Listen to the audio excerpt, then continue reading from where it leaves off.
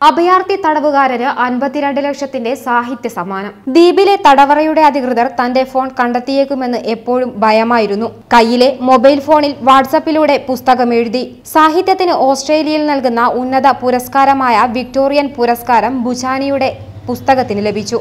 No friend but the mountains writing from the Manus prison എന്ന പുസ്തകം ഫോണിലെഴുതി വാട്സാപ്പിലൂടെ ബൂച്ചാനി അയക്കുകയായിരുന്നു.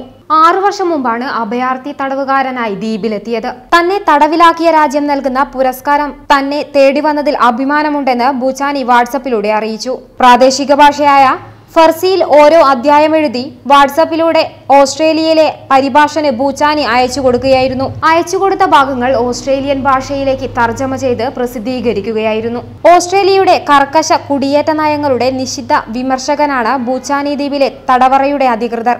തന്റെ phone കണ്ടെത്തിയേക്കുമെന്ന് എപ്പോഴും ഭയപ്പെട്ടിരുന്നതായി ബൂച്ചാനി പറഞ്ഞു. കുറ്റകൃത്യം ചെയ്യാതെ തടവിലാക്കപ്പെട്ട നിരപരാധികളാണ് തനിക്ക് ചുറ്റുമെന്നും അവർക്കായി എന്തെങ്കിലും ചെയ്യാൻ കഴിയാത്തതിന്റെ നിരാശയിലാണ് താനെന്നും ബൂച്ചാനി ടെക്സ്റ്റ് ചെയ്തു. എന്നാലും ഈ അവസരത്തിൽ ആഹ്ലാദിക്കാനാവുന്നില്ലെന്ന് യുവാവ് പറയുന്നു. തന്നെ പോലെ ആയിരക്കണക്കിന് അഭയാർത്ഥി തടവുകാരുടെ ജീവിതത്തിലേക്ക് ലോകത്തിന്റെ ശ്രദ്ധയെത്തിക്കാൻ ഈ അവാർഡിലൂടെ സാധ്യമാകുമെന്ന് ബൂച്ചാനി പ്രത്യാശ പ്രകടിപ്പിക്കുന്നു. അന്വേഷണം ഡോട്ട് കോമിന് വേണ്ടി അനുശ്രീ.